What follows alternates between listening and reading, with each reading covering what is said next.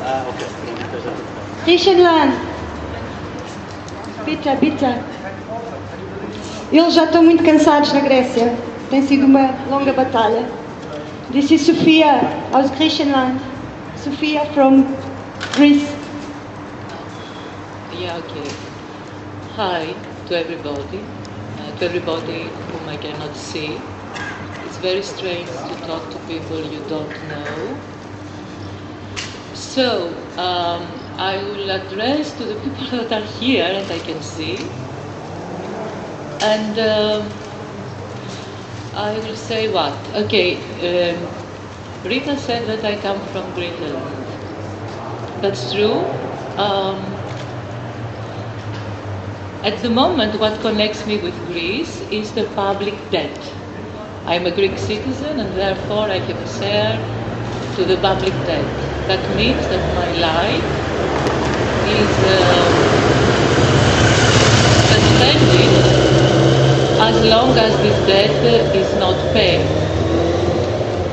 Uh, that stands for uh, all the Greeks and the people who live in Greece. Their life is suspended. They live in misery.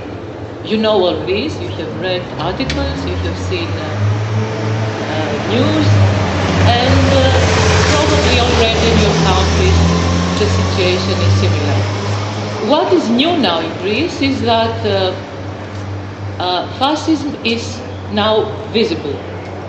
I hope that in Portugal or in Spain or in Italy, fascism is not visible. But in Greece, it's visible, is legitimized, and it is in the parliament. It's um, a very difficult thing um, to be someone who never lived a war, who never lived a, a civil war, who never lived fascism, who knows fascism and Nazism through history and books and films. It's very, very difficult to see this ghost to be materialized in front of his eyes or her eyes.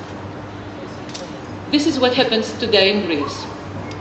So, um, the only thing I want to say to whom hears me is that except the public debt we have, we have another debt. I have another debt, and that is to protect my life, the life of the people I love, and um, yeah, that's all I think. So, uh, I beg you, if you can do something, just do it. Just move.